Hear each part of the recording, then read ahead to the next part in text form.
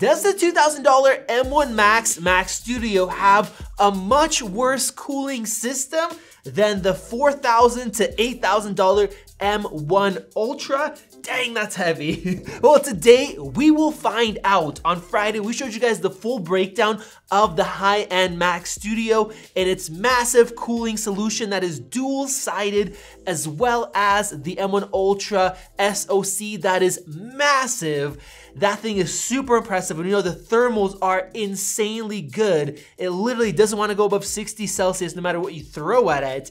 Today, we will find out if this one is just as good because we know that this actually uses an aluminum cooling system that weighs two pounds less. So I'm curious, one, what does it look like? Is the heatsink much smaller? Do we have one fan or two fans? Also, afterwards, we are gonna look at the actual thermal performance, what temperatures we get when we are maxing out the CPU, when we're maxing out GPU, and if you're doing a task that maxes out both, is it gonna get really hot above 90 degrees Celsius, just like the M1 Max in the MacBooks? Or does it still perform pretty well, even though it has a much lighter uh, and less expensive cooling system. Enough talking, let's go ahead and get into this. So that ring came off much more cleanly than the last one. If you guys ever do this, please be very careful because the power supply is exposed. You can get hurt. Make sure all the power is drained out. Do not touch it. Do this at your own risk. Apple does not want you to be taking this apart. And take a look at that, guys. The SSD is still socketed and we do still have that extra slot on the other side. This is the base model with 512 gigs of SSD. I'm not certain, but I assume that everything up to the two terabyte model comes with one SSD. And then if you get the four terabyte or the eight, it will come with two because it needs that extra density. And because those are actually the fastest performing ones. They're both similar. All right, guys, look at that. We definitely have a different cooler design than the M1 Ultra. The heatsink is different. The way it mounts is different. It looks like a much smaller assembly. And instead of having heat pipes on the back side as well, those two heat pipes, it literally just has a few little heat sinks right here it looks like a nice mini version of that, but let's go ahead and check out the actual full heatsink assembly and the fans. Now it's helpful to know what I'm doing this time. I know that I have to take everything apart. And if you guys appreciate the efforts, please go check out our M1 Ultra shirts. We have some older ones as well. You can use the promo code M1 Ultra for 20% off. We would definitely appreciate it. Now, one interesting thing that I noticed is that the SSD is actually on the other side this time, on the right side instead of the left, which means that I actually don't have to remove it in order to take everything else apart and get rid of these front USB Type-C ports. I wanna also let you guys know that I did put together the M1 Ultra. I know a lot of you guys talked about it, that Mac Studio. Uh, it took about an hour. It was really detailed, but everything works just fine. All right, guys, I got all of those ports out of there. Now it's time to break the heatsink free. That's what holds it down to the frame. And now for the moment of truth. Let's see if I learned from the previous one and if I did all of this correctly. It is definitely way, way lighter than the Ultra. All right, it's coming out. Ah, come on. And bam. There she is. Look at that, guys. I don't know, does it look basically the same? Looks very similar. I mean, it is no longer front heavy though. The other one, it would just literally want to topple over. So this one's way more balanced. Now we have, you know, the fans up here. We have, uh, as far as fins, I don't know, maybe a little bit less dense. Maybe it's identical, probably identical. Let's go ahead and take these fans off here. All right. Once again, we have that wire that goes all the way across just so it plugs in on the other side. I'm not gonna be unscrewing that. And take a look at this, guys. Look at these heat pipes right over here that go on top of the chip and then come into the cooler. I don't remember seeing that on the M1 Ultra cooler that is made out of copper. I'll show some B-roll footage here, but uh, could be wrong, but I just don't remember seeing that. Let's go ahead and take off this heatsink. Oh man, I thought I was gonna get away without having to remove the SSD, but it looks like, nope, if you are going to be working on a Mac, you can't get away with it. You still have to remove the SSD if you want to get to that bottom screw. And now the very last thing holding this heatsink together. All right, guys, moment of truth. All right. Bam, there we go. Wow.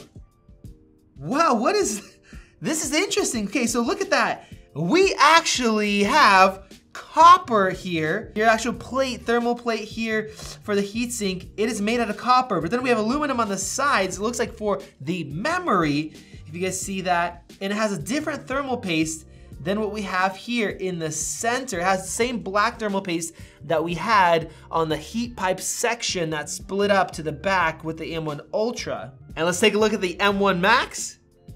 Interesting. Wow, okay. Very cool.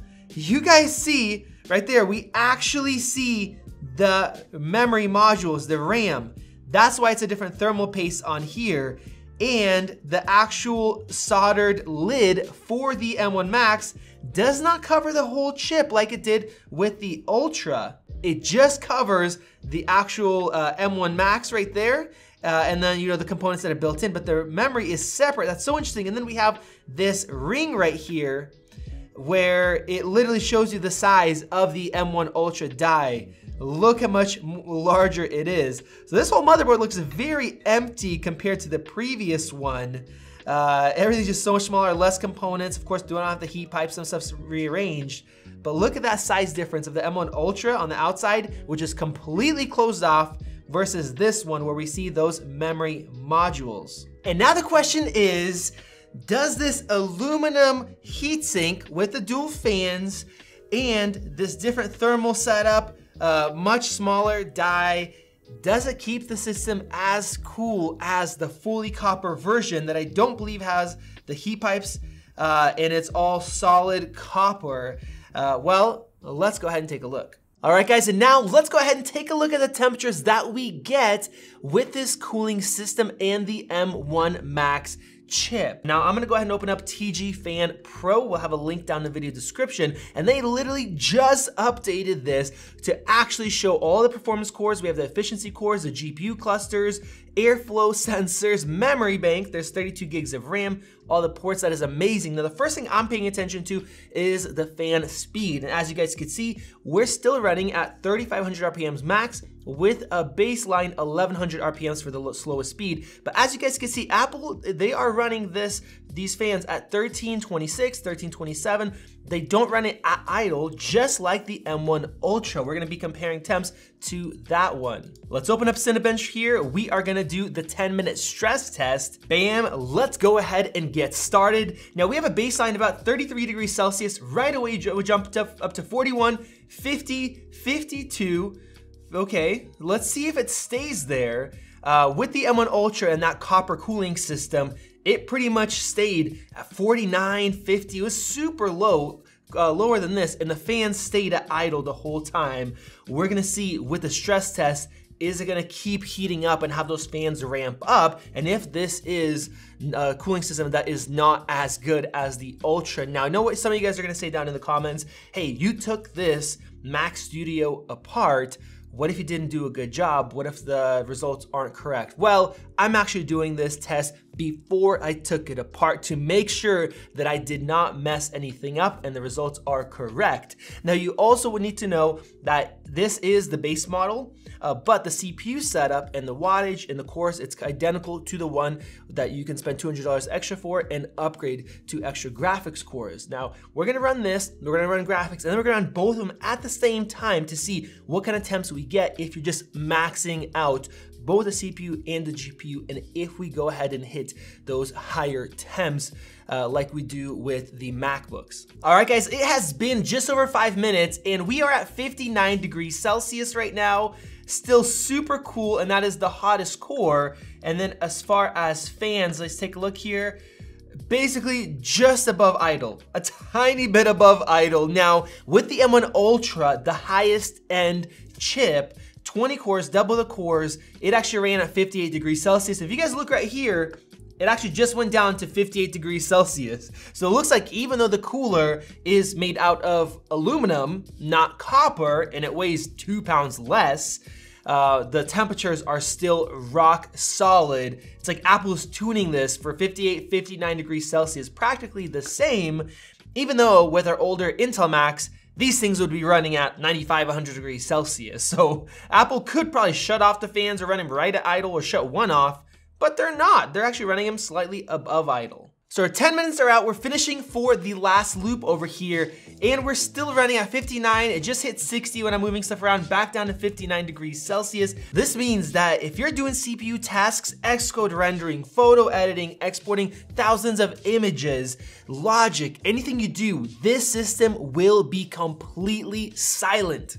And here we go, we have a score of 12,310. And right when we got done, it literally just instantly dropped down to 38 degrees Celsius. And now let's test out the graphics. I have 3D Marks Wildlife Extreme with the unlimited mode, so it's off screen, should not be limited by the refresh rate or anything like that.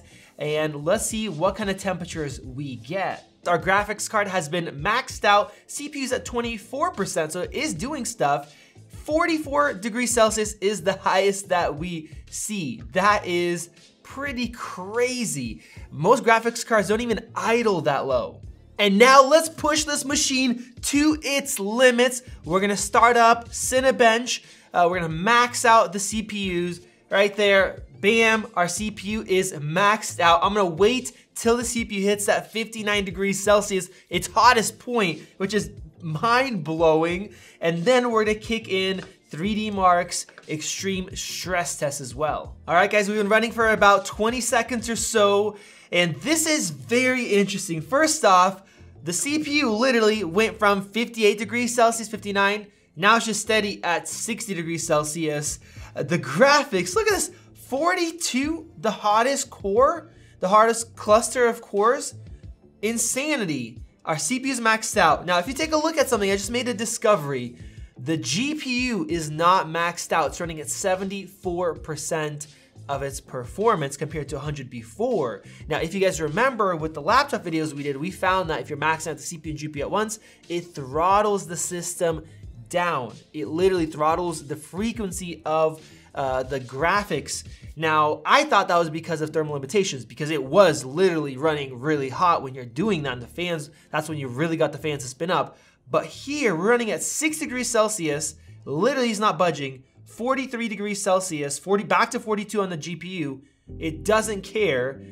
But Apple is still limiting the graphics performance, even though we have no battery issues, we are plugged in at power, and there are no temp issues. This thing is running insanely cool. Look, 44 degrees Celsius right now. It's still running 60, 61 degrees as far as the CPU, and the fans are literally basically at idle. That is insanity. So this proves one, that there's definitely power limitations in play. We're gonna be exploring that in future videos and getting to the bottom of this. And two, that no, the M1 Max chips they do not throttle, they do not get hot, the fans don't spin up, even if you max out the CPU and max out at least as much as you can the graphics performance.